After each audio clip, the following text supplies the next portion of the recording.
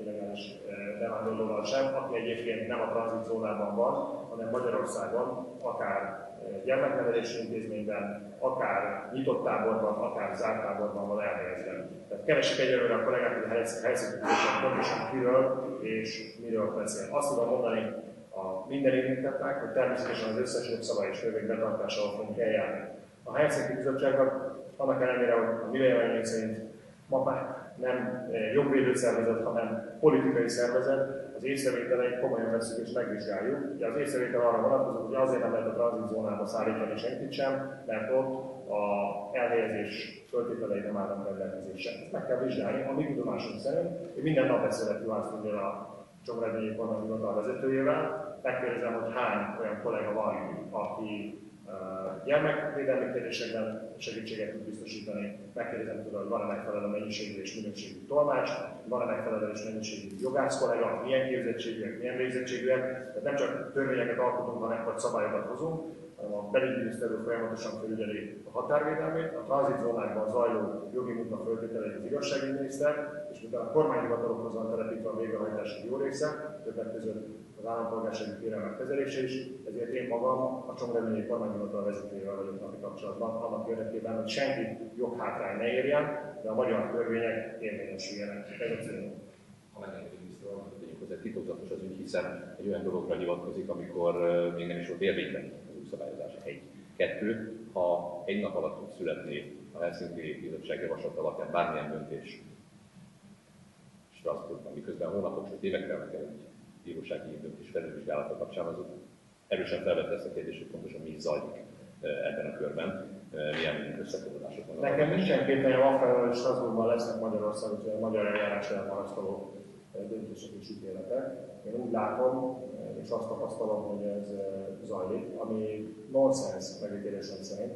Jól mutatja, hogy akiknek kártérítést ítélnek meg, azok talán nincsenek is meg. Tehát ha akarnánk teljesíteni az ítéletet, akkor sem tudjuk. Másrészt pedig Magyarország azzal, hogy az illegális bevándorlókat megállítja, azzal a római nyilatkozatban foglalt politikai elvárásnak és politikai jövőképnek tesz eleget, mert azt mondta Rómában az Európai Unió 27 vezetője, hogy Európának meg kell védeni a saját határait.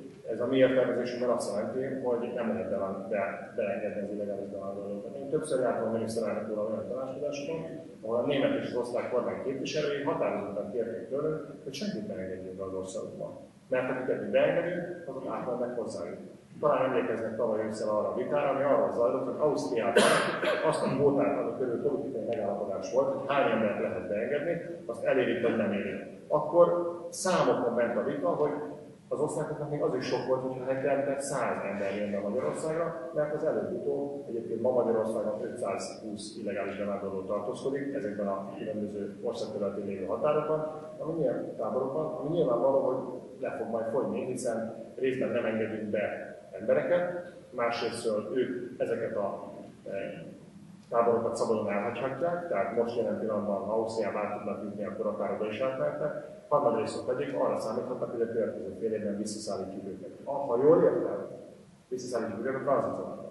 Ha jól értem, a Helsinki Bizottságnak a felvetése arra vonatkozott, hogy aki most nyitott táborban van, azt visszaviszik a határhoz, és ott kell megválnia megvárni azt, hogy a bevándorlási kérelmét elbírálják. És arra hivatkoztak, hogy, ahogy átolvastam, arra hivatkoztak, hogy talán fogyatékos is van a bevándorlók között, vagy speciális egészségügyi ellátás, pszichiátriai kezelést igénylő is van. Ezeket mind meg fogjuk tételesen vizsgálni, és minden ellátást biztosítunk. Még egyszer mondom, a tranzitzónában fölnőtteknek napi háromszor érkezést, amennyiben a fölnőttel van a gyerek, akkor ötször érkezést biztosítunk, szociális elhelyezést biztosítunk és egészségügyi ellátást biztosítunk, amely a nemzetközi mércéknek teljes egészében megfelel. Ezen kívül kiemelten támogatjuk az humanikus segélyszervezetet és a Szeretett Szolgálatot, hogy ott a határon minden humanitárius kötelezettségének eleget tudjon tenni Magyarország.